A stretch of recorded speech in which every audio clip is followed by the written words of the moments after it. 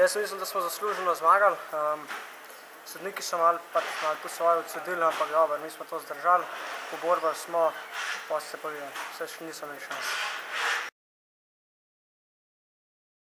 Ja, prva tretjina, začeli smo že slab, četrte sekunde je bil že faul, koj. Na parku smo ga koj dober že. Prvo tretjino smo res slabo igrali, nedisciplinirani, že tretj sploh v zadnji bil nikoli. Pa je druga tretjina, držali smo jih skozi tretjino.